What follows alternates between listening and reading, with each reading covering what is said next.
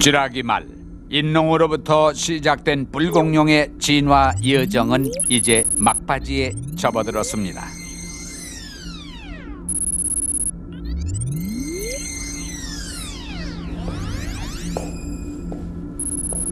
겨우 1m에 불과했던 인농은 6m 길이의 3톤의 거구가 되었습니다.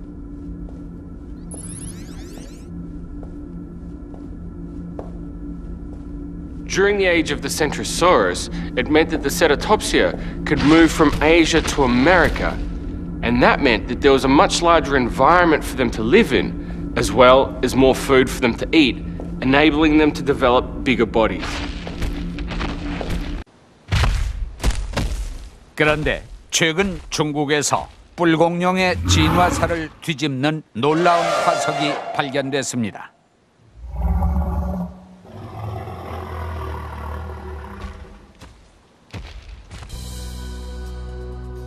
산동성 주청시 7천만 년 전 백악기 후기 지층에서 공룡뼈들이 쏟아져 나왔습니다. 그 가운데 엉뚱한 화석이 끼어 있었습니다. 바로 이 뿔입니다.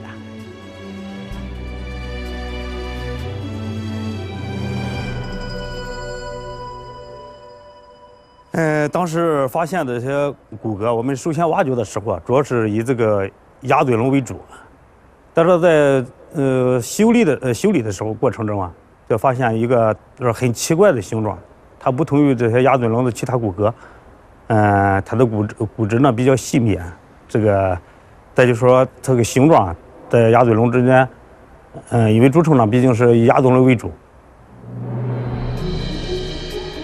아시아에서 최초로 뿔 달린 공룡 화석이 발견된 것입니다.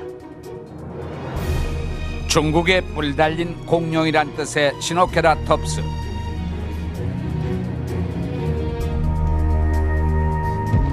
(8m) 길이에 5톤 무게를 자랑하는 시노케라톱스는 북미의 센트로사우루스와 매우 비슷합니다. 코 위에 큰 뿔이 하나 달려 있는 것도 똑같고요.